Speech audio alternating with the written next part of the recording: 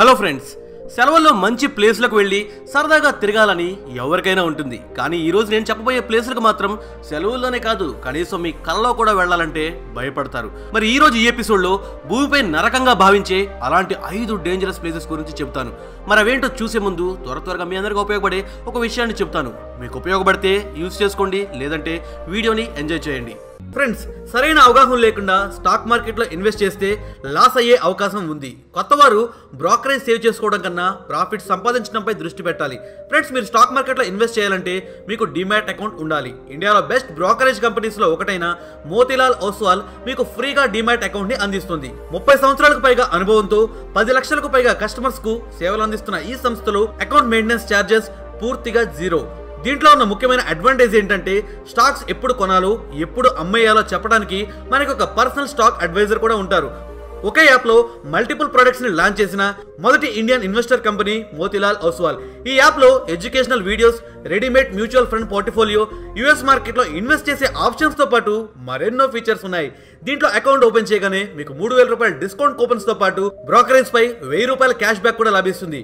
అయితే demat account open చేయడానికి మీ పాన్ కార్డ్ ఆధార్ కార్డ్ మరియు బ్యాంక్ ప్రూఫ్స్ అవసరం ఉంటాయి. మరి వెంటనే డిస్క్రిప్షన్ ఇచ్చిన లింక్ పై క్లిక్ చేసి మీ డీటెయిల్స్ ఎంటర్ చేసి సింపుల్గా డిమాట్ అకౌంట్ని పొందండి. ఇక టాపిక్లోకి వస్తే number five Agbogbloshie Ghana friends మనం ఇంట్లో వాడే ల్యాప్టాప్స్ టీవీస్ ఫ్రిడ్జ్లు వాషింగ్ మిషన్లు మరియు ఇతర ఎలక్ట్రానిక్ గ్యాజెట్స్ పాడైపోయిన తర్వాత ఎక్కడికి వెళ్తాయో ఎప్పుడైనా ఆలోచించారా? సాధారణంగా పెద్ద పెద్ద దేశాలు వీటిని చిన్న చిన్న పేద దేశాలకు ఎక్స్పోర్ట్ చేస్తాయి. ఇక పేద దేశాల్లో వాటిలో పనికొచ్చే కాపర్ లాంటి సామాన్ తీసేసి మిగతా చెత్తను భూమిలో పూడ్ చేస్తారు.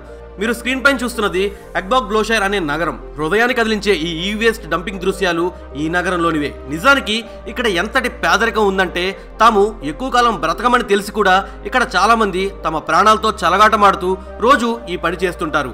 ఈ ఈ వేస్ట్ కారణంగా వ్యాప్తి చెందిన కాలుష్యం వల్ల ఇక్కడ భూమిలోని లెడ్ కంటెంట్ పద్దెనిమిది వేలకు చేరిపోయింది. ఇక్కడ పనిచేసే వారి ఎవరి బాడీ ఆర్గాన్స్ కూడా ఎక్కువ కాలం పనిచేయవు. ఈ ప్రమాదకర ప్రాంతంలో ఒక్కరోజు గడిపితే మన జీవితంలో ఒక్క నెల ఆయుష్ తగ్గిపోతుందట. మన భూమిని మనమే నాశనం చేసుకుంటూ ఇప్పుడు మార్స్ పైన చంద్రుడి పైన ప్లేస్ కోసం పాకలాడాల్సిన అవసరం ఎందుకు వస్తుందో అర్థమైందా?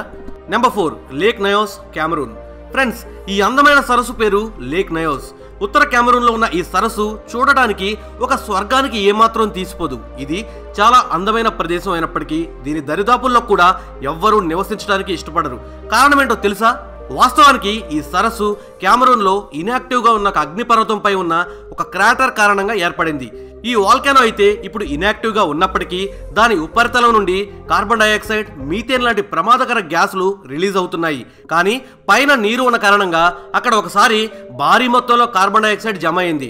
అది ఒక్కసారిగా ఆ ప్రాంతం మొత్తాన్ని సడన్గా కమ్మేసింది. దీంతో రాత్రికి రాత్రే రెండు వేల మంది మనుషులు నాలుగు వేల పశువులు నిద్రలో ఉండగానే ప్రాణాలు పోగొట్టుకున్నారు. ఇక అప్పటి నుండి ఈ సరస్సు ఈ ప్రాంతంలో విషవాయువులను వదులుతూ ఉంటుంది. అందుకనే ఈ చుట్టుపక్కలకి వెళ్ళాలన్నా కూడా జనం భయపడతారు. Number three Citarum river Indonesia. మన దేశంలో అత్యంత కాలుష్యంతో ఉన్న నదులు గంగా మరియు యమున. ఇక మన హైదరాబాద్లో ట్యాంక్ బండ్ మూసి నది గురించి అయితే మీ అందరికీ తెలిసిందే.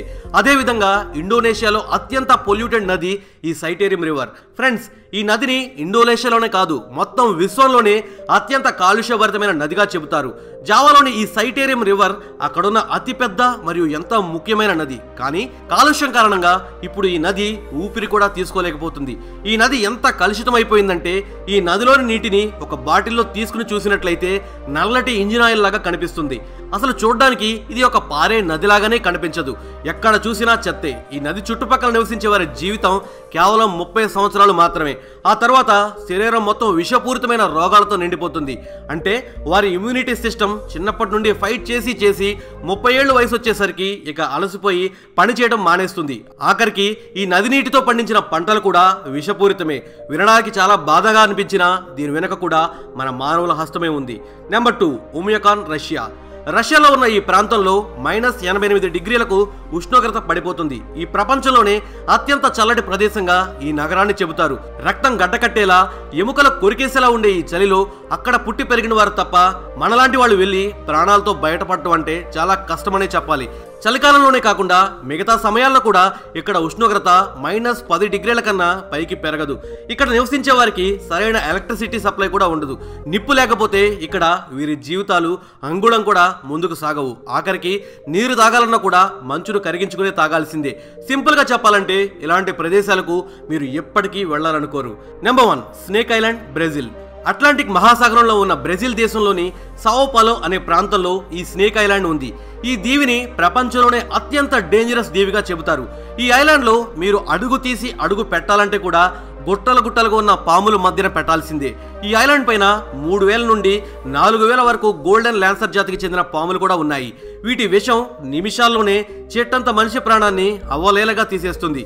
ఈ కారణంగానే ఈ ఐలాండ్ పైకి సాధారణ మనుషులు వెళ్ళడానికి నిషేధించారు. చాలా మంది దొంగదారుల్లో ఈ ఐలాండ్కి వెళదామని ప్రయత్నిస్తుంటారు. అయితే ఈ ఐలాండ్కి వెళ్ళిన వాడికి అదే జీవితంలో చివరి రోజని ఇక్కడ వారి అభిప్రాయం.